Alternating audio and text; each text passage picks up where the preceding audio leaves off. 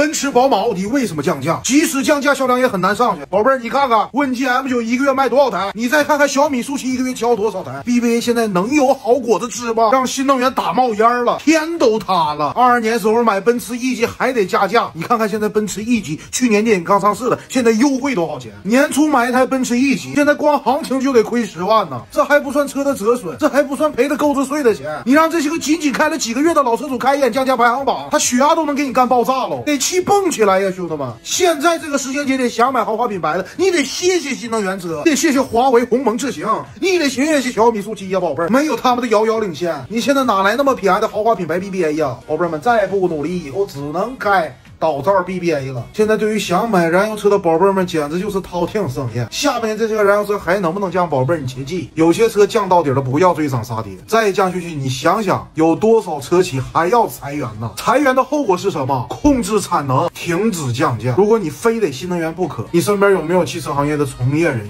你看看他们买新能源车买什么车？你看看他们现在主要家里边什么车多？我真怕你们吃亏上当，疲惫不堪。我真怕你们变成双瓣脑袋，扁铲脑袋。每天带我了解新车二手车行情，祝你们坐享其成，不劳而获，身体健康，越来越好。买完车的千万别看懂车帝降价排行榜，我怕你气得蹦起来。如果近期想买车，可以去懂车帝看一下，里面有最新的降价信息，让你买车不买贵。